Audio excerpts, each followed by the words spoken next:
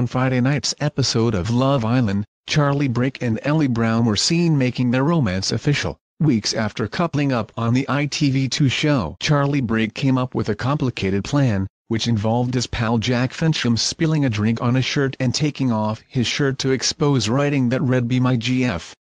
In red lipstick on his chest. Ellie Brown seemed totally stunned by the gesture, but after a few seconds of shock she agreed to be Charlie's girlfriend. But despite the sweet scenes, viewers rushed to social media to express their fury over Charlie's use of popular makeup brand MAC in his stunt, slamming him for wasting the lipstick. Taking to Twitter, one asked, Anyone else slightly dying inside at the thought of that waste of lipstick? Love Island while another admitted, my heart goes out to the girl whose MAC lipstick was sacrificed for this. Love Island.